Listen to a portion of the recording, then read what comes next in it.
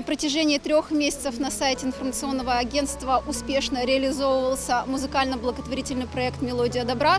И сегодня вот таким вот большим, ярким, красочным, позитивным концертом мы завершаем наш проект и говорим всем приднестровцам, всем артистам огромное спасибо за то, что они поддержали детей-инвалидов из Бендерского реабилитационного центра, пришли сюда и разделили с нами этот праздник.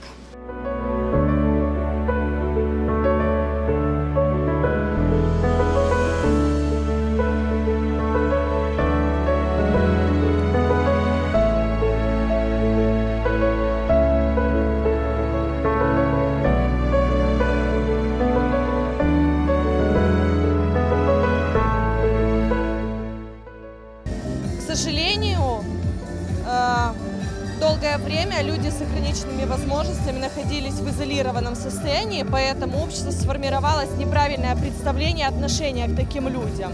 И за последние, вот буквально, я знаю, года четыре очень сильно поменялось отношение. И я думаю, чем больше мы будем говорить о таких э, детях, о таких людях, тем э, легче им будет встроиться в социум.